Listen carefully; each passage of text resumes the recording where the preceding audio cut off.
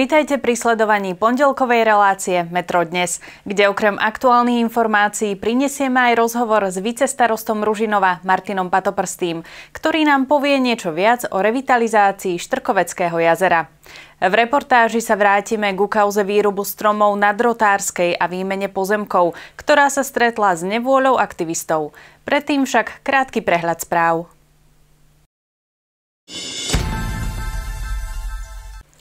Bratislava sa v krátkom čase obráti na Európsku komisiu. Dôvodom je, že štát stále finančne nepomohol dopravnému podniku Bratislava vykryť miliónové výpadky príjmov spôsobené pandémiou.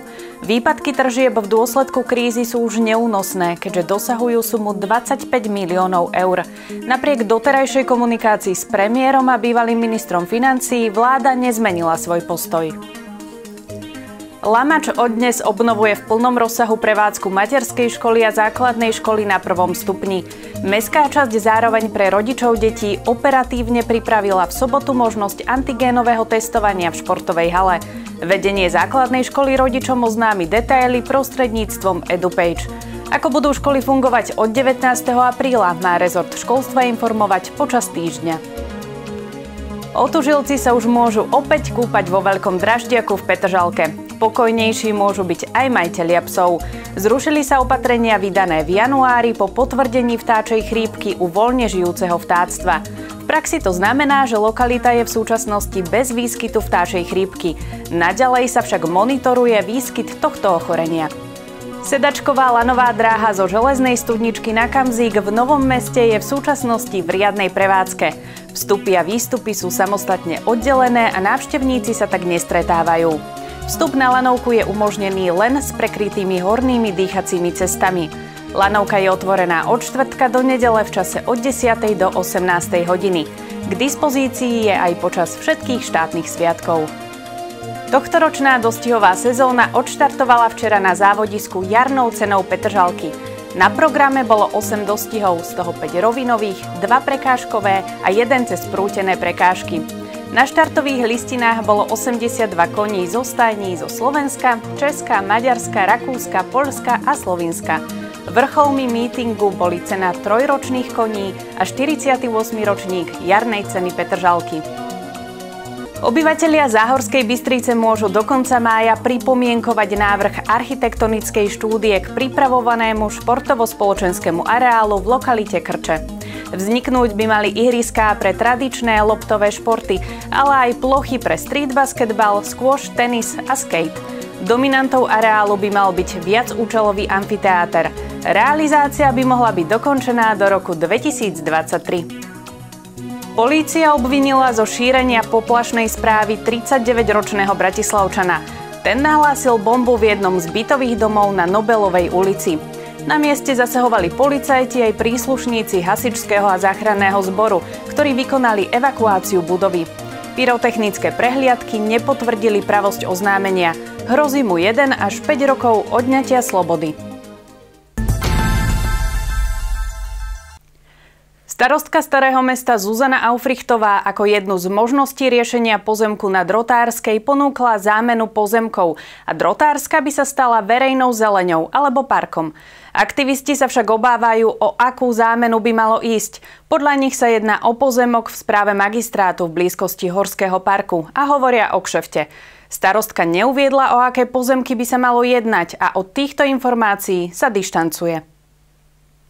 Začiatkom apríla starostka Starého mesta na tlačovej besede informovala verejnosť, že jednou z možností riešenia pozemku na Drotárskej ulici, kde bolo vyrúbaných viac ako 80 stromov, je výmena pozemkov. Neinformovala však, o ktoré pozemky konkrétne by sa malo jednať.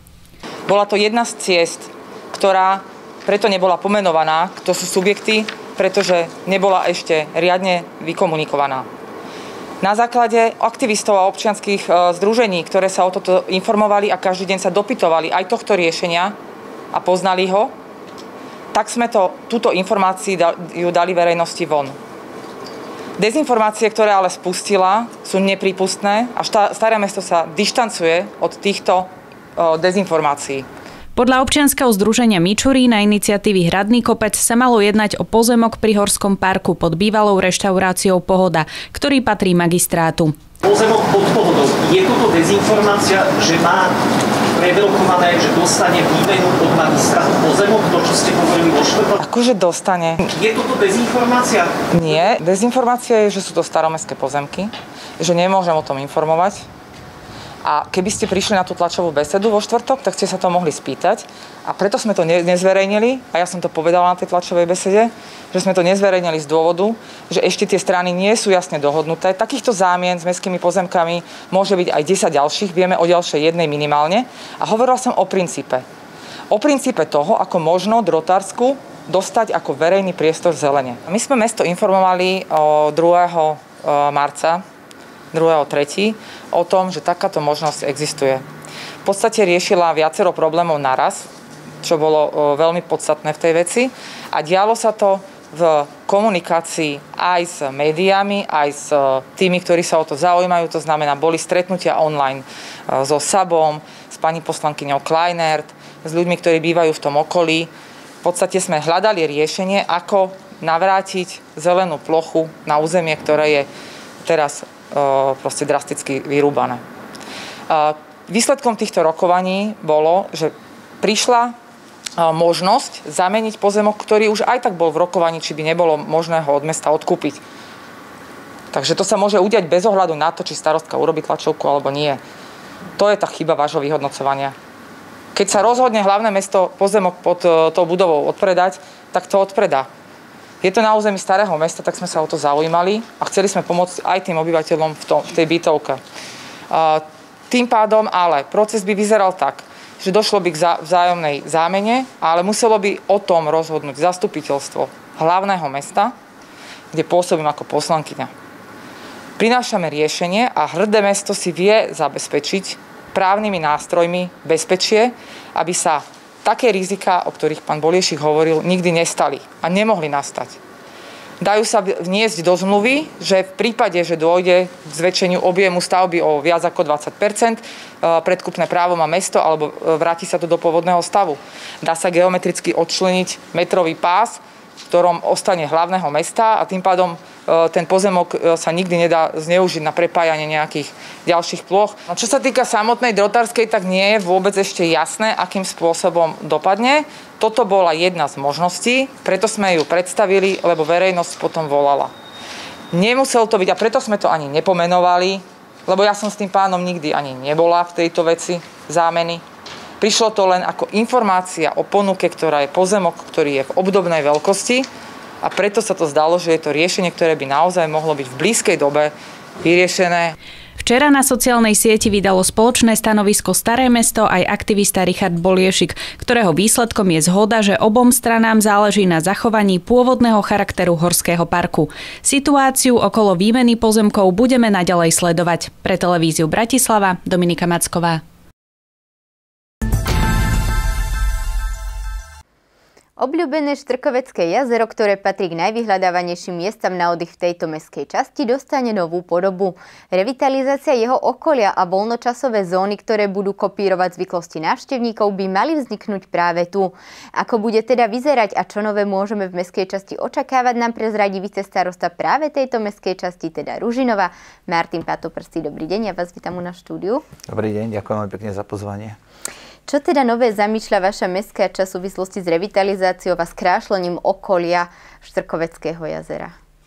Dovolil by som si na začiatok vás trošku poupraviť, že nie je to len také, že oddychové miesto mestskej časti, ale myslím, že pre celý Ružinov, okrem toho, že je to, že srdce Ružinova, tak celá Bratislava si tu nájde svoje miesto, špeciálne teraz, keď máme nákupné centra zavreté, tak ľudia opäť nachádzajú aj takéto prírodné zákutia, kde sa môžu poprechádzať, prípadne s deťmi sa trošku uvoľniť. A Štrokovecké jazero naozaj za posledné roky neprešlo žiadnou výraznou zmenou. Ten mobiliár, ktorý tam je, je, zastaralý, už aj zub času trošku ho ohlodal a chátra, čiže sme si povedali, že trošku sa tomu povenujeme a urobíme naozaj Štrokovecké jazero také, aby bolo pre všetkých a aby tie zóny tam boli rozdelené tak, aby si prišli na svoje aj kľudnejší návštevníci, aj mladí, aj starší, aj športovci, aj rodiny s deťmi. Tak sa poďme teda na každú túto jednu kategóriu nejako pozrieť, kto si tam teda čo nájde, poďme si priblížiť teda, čo nás čaká. Pre tých, ktorí poznajú Štrokovecké jazero, tak vedia, že posledné roky je taký najznámejší záchytný bok Štrkovecká lodenica, kde sa vlastne sústredí celý ten život. Je to tzv. promenáda, ktorá spája prakticky Dríňovú ulicu a Ružinovskú ulicu. A práve toto je taká centrálna zóna. Na tejto centrálnej zóne nám pribudli lehátka, ktoré sme nainštalovali do svahu tak, aby slúžili e, obyvateľom alebo aj rekreantom, návštevníkom, aby tam mohli oddychnúť, aby si mohli sadnúť, lahnúť, vychutnať si výhľad, prípadne niečo malé do ruky si kúpiť e, v prilahlých e, bufetoch, reštauráciách. A postupne sa to bude, táto zóna posúva takým smerom, že pre tých, ktorí sú kľudnejší, sa odtiaľ to môžu presunúť do tzv. oddychovej zóny, kde budú rôzne také naozaj že kľudné mobiliáry v tieni stromov smerom ku Driňovej ulici. Napríklad tam budú šachové stolíky, budú tam stolíky na človeče nehnevaj sa, budú tam také, nazvime to, že kempingové alebo piknikové sety, kde si ľudia naozaj v tieni môžu v kľude oddychnúť, či si zahrať karty, či si len posedieť, pokochať sa výhľadom na jazero alebo si oddychnúť. Naopak, hm, ešte vám vstúpim teda do toho, keď sme boli pri tých lehátkach, teda či tam budú nainštalované počas celého roka, alebo práve keď spomíname bufety tak ďalej, či to bude sezónne viazať ku letu. Lehátka sú pevne spojené so zemou, zabetonované pretože obávame sa, že aj napriek tomu, že vieme, že v Ružinovej v Bratislave žijú slušní ľudia, tak obávame sa, že by niektoré tie lehátka mohli dostať nohy a zmiznúť, čiže z toho titulu sú pevne mhm. umiestnené. Priamo. Máme niekde aj nakrestu, že si budeme vedieť predstaviť, či ide o nejaké klasické lehátko, alebo čo je to Lehát... za špecialitu. Lehátka sú teda nejaké... veľmi dobre anatomicky mm-hmm. tvarované, musím povedať, že sme ich aj predtým skúšali, že či budú vyhovovať. A áno, toto to máme, na to bude vidno na kameru. Mm-hmm ono sa trošku niektorí ľudia obávali, že aby to nebolo také útočisko pre bezdomovcov, ale keď sa na to pozriete, tak ono vlastne ani tak nie je úplne lehátko, ako skôr nejaké sedátko. Mm-hmm. Čiže nie je to pohodlné na to, aby tam sa človek na tom vyvaloval celý deň, ale presne, aby sa oprel, aby si niečo malé do ruky vychutnal a pokochal sa výhľadom a oddychol si. Mm-hmm. Dobre, tak to sme si prešli, teda sme si vizualizovali, teda ako vyzerajú lehatka, potom ste povedali, že sa presunieme do tej oddychovej Áno, zóny, teda môžem, ďalej. Môžem ukázať a môžeme sa pozrieť teda napríklad, zóny, ako vyzerá, samozrejme. alebo čím je možno špecificky práve nejaký ten stolík, čím je iný na to človeče, ne, nehnevaj sa, alebo čo ešte budeme môcť, ako ho využiť vlastne tento priestor a tieto mobiliári, Napríklad ktoré tam budú. takáto rada stolov, tam bude dosť také tie kvázi piknikové alebo oddychové stoly, ktoré budú v celej rade za sebou, čiže naozaj, že môžu tam ľudia podľa svojho vlastného uvaženia tráviť čas, či sa najesť, napiť, alebo si zahrať nejaké spoločenské hry, prípadne karty, prečítať si noviny.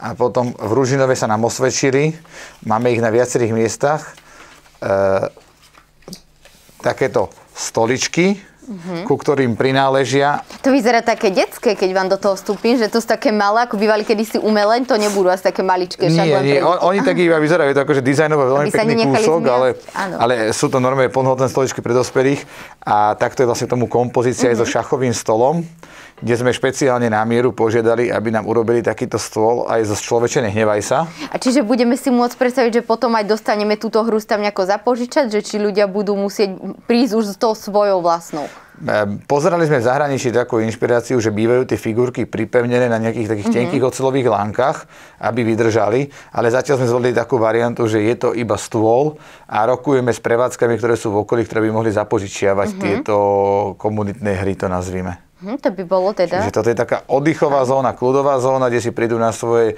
buď rodičia s malými deťmi, alebo starí rodičia. A opakom toho na druhej strane jazera je taká, my sme to nazvali, že funky zóna, alebo zóna pre mladých, alebo veselá zóna, ktorá je situovaná pri e, rohu jazera, ako je električková trať Ružinovská.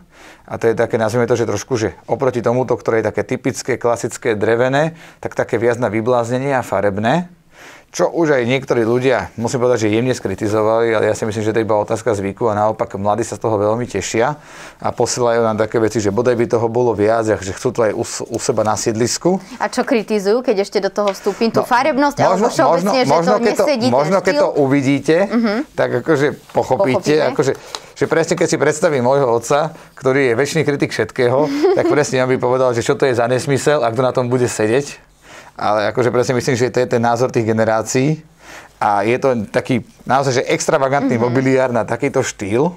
A to ste sa kde inšpirovali? Lebo to vyzerá napríklad, ako by som povedala, špreliezačky možno. No, a to je, to, je, to je presne tá otázka toho, že kto s tým má aký zámer. Mm-hmm. Pre mhm. niekoho to je na sedenie, pre niekoho na ležanie, pre deti na preliezanie, pre páriky si tam môžu spolu kľude sadnúť a mm-hmm. sa výhľadom. Čiže naozaj, že každý sa nájde do svoje využitie a netreba byť taký skeptický a možno povedať je trošku taký, že staromodný a pozrieť sa na to, že keď to funguje inde vo svete, lebo tu všetko inšpirácie zo sveta a prakticky my sme si povedali, že dneska Google je krajina neobmedzených možností a zadávali sme rôzne výrazy pre moderný mobiliár, pre zahraničný mobiliár, pre funkčné verejné plochy a nejakým takým výberom toho všetkého, čo už niekde inde existuje a je overené a navštevované, tak sme vybrali to, čo by sme chceli robiť aj my.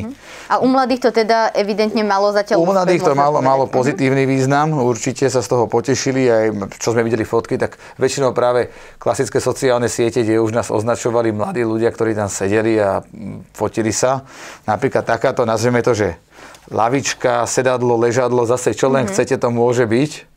A naozaj, že takéto už sú tam dve osadené teraz a už sú navštevované, už akože mladí si tam našli svoje miesto. Bude mobiliar ešte pribúdať stále? Bude postupne. Stále Toto všetko, čo ukazujem, je postupne v procese, uh-huh. pretože každé jedno musí mať betonovú konštrukciu a postupne okolo celého jazera, čiže horizont najbližšie dva týždne až mesiac by to malo byť hotové. Uh-huh. A ku funky zóne na brehu jazera budú E, patriť, ak to my sme to funkčne nazvali, že taburetky, ale zase každý nech si povie, že čo to je, čo sa mu na tom páči. Tieto taburetky budú farebné, dokonca niektoré sú možno, že sa dajú aj zasvietiť na večer a zase mm-hmm. niekto na tom môže sedieť, niekto potom môže skákať, niekto sa na tom môže fotiť, niekto na tom môže robiť stojku, je to úplne individuálne a každý si nájde svoje využitie. A pointa tohto mobiliáru je, že tento mobiliár je zo špeciálneho plastu mm-hmm. a je napustený vodou. Aha, ale nepukne. Čiže nepukne, je taký špeciálny. Nepukne, Aha. je napustený vodou, čiže tým pádom je vlastne ochránený proti vandalizmu, mm-hmm. aby ho niekto neukradol, nezničil. Tým, že je to naozaj tvrdený plast, nedá sa to ani prepichnúť, je to, keď to mám povedať s prepačením, blbovzdorné, aby to naozaj vydržalo. A presne na tých fotkách mi je vidno, že keď namontovali tie veľké zetka oranžové, tak ich vlastne hadicou priamo z jazera plnili vodou, aby mali svoju váhu, aby boli jednak bezpečné a jednak aby neboli ani ukradnutelné. Uh-huh.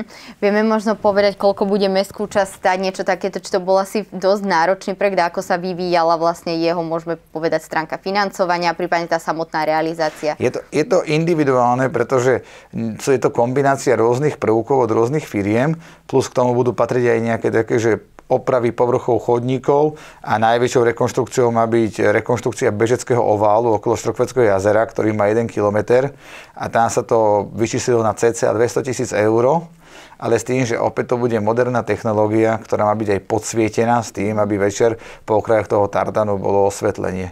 Uh-huh. A celkovo tento mobiliár, e, myslím, že okolo 30 až 45 tisíc eur vyšiel, s tým, že okrem toho, čo sme videli, samozrejme sú tam rôzne ležadlá, lavičky, sú tam také, nazveme to, že barové stolíky, také presne, že aby niekto zase nepovedal, že iba pre bezdomovcov, tak presne sú tam také stolíky a sedačky bez operadla, ktoré vyslovene sú iba na krátkodobú konzumáciu nejakého jedla, pitia, aby sa tam e, neusalašili nejaké skupinky plus sú tam exteriérové fitness prvky na vrchnú na spodnú časť tela, ktoré budú situované na dvoch miestach pri bežeckom ováli s tým, že každý zase individuálne si môže povedať, že odbehnem si kolečko, zacvičím si, odbehnem si pol kolečka, zacvičím si, alebo odbehnem si 5 kolečiek a pristavím sa. Bude to na dvoch miestach rozmiestnené presne podľa partii tela. Čiže naozaj sme to snažili situovať tak, aby si každý prišiel na svoje, od športovcov cez detí, mládež až po seniorov. Naozaj presne 4 tie zóny, 4 vekové kategórie môžeme povedať. A, a ešte keď ano? môžem, pardon, lebo to zase naši rožinovskí rybári by ma skritizovali, pretože samozrejme máme silnú komunitu rybárov, ktorí majú veľmi pekný vzťah aj k jazeru Štrokovec, aj k jazeru Rohlík. Starajú sa o neho, zarybňujú, robia brigády. A mysleli sme aj na nich, aby asi nepovedali, že z toho robíme s prepačením nejaký cirkus alebo mm-hmm. na park.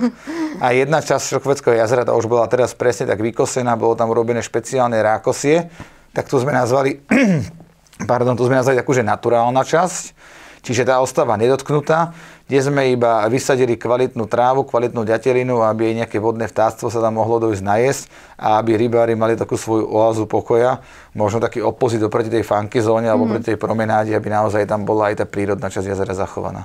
Tak ja už neviem, čo dodať. Uspokojete asi naozaj každú tú, poviem, aj vekovú, možno aj nejako kategoricky zameranú teda skupinu obyvateľstva. Tak ďakujeme za priblíženie. Veríme, že sa podarí podľa predstav dokončiť rekonštrukcia. No a plán e, všetko dobre prajeme. Ďakujem za rozhovor. Ďakujem veľmi pekne. Dovidenia.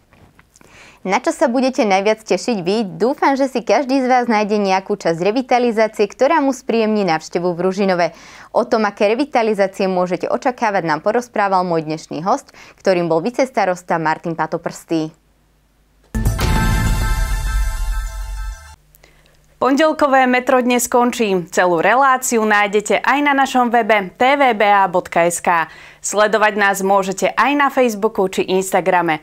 Vaše námety na reportáže alebo zaujímavé rozhovory radi privítame. Posielať nám ich môžete na adresu redakcia tvba.sk. Majte sa pekne. Dovidenia.